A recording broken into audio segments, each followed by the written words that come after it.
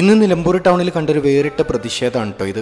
നിലമ്പൂർ ജില്ലാ ആശുപത്രിയിലെ ഫീസ് മൂന്നിരട്ടിയോളം വർദ്ധിപ്പിച്ചതിനെതിരെ ഒരു രാഷ്ട്രീയ പാർട്ടിയുടെയും പിന്തുണയില്ലാതെ ഒറ്റക്കുള്ള ഒരു സമരം അഥവാ ഒറ്റയാൾ പ്രതിഷേധം.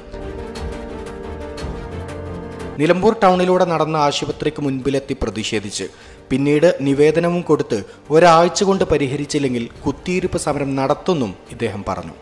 ഞാൻ എടക്കലിലാണ് എന്റെ പേര് അബ്ദുൾ മജീദ് അഡ്രസ്സ് ചിറ്റങ്ങാടൻ എന്നാണ്. ഞാൻ ഈ ഹോസ്പിറ്റലിലെ ഒരു മാസം മുമ്പ് വരെ ഇതിൽ എച്ച് എം സി മെമ്പറായിരുന്നു ഇവിടെ നമ്മളൊക്കെ എച്ച് എം സി അംഗങ്ങളാവുമ്പോൾ സാധാരണക്കാരുടെ ആവശ്യങ്ങൾ എന്താണോ അതിനൊക്കെ പിന്നെ ആ ആശുപത്രി മാനേജ് കമ്മിറ്റി പിന്നെ അതിന്റെ നല്ല നടത്തിപ്പിനുള്ള ഒരു പ്രയാണമാണ് കമ്മിറ്റിയുടെ മുമ്പിലുള്ളത്.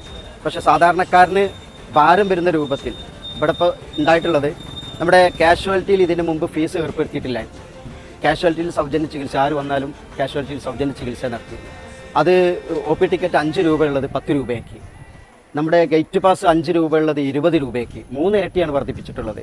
ഹോസ്പിറ്റൽ ജീവനക്കാർ ഇതിൽ നിരപരാധികളാണ്. എച്ച് എം സി കമ്മിറ്റി എന്ത് തീരുമാനിക്കുന്നു? ജില്ലാ പഞ്ചായത്തിന്റെ കീഴിലാണിത്. ഇതിൽ ജില്ലാ പഞ്ചായത്താണ് നടപടി സ്വീകരിക്കേണ്ടത്. ജില്ലാ പഞ്ചായത്ത് ഇത്രയും ഒരു തീരുമാനം എടുക്കുമ്പോൾ ഇത് ചിന്തിക്കണ്ടേ? അപ്പോൾ സാധാരണക്കാരോടുള്ള ഈ പിന്നെ അന്യായം കൊള്ളയടി ഇത് അനുവദിച്ചുകൂടാ? ഇത് പിൻവലിക്കുക തന്നെ വേണം.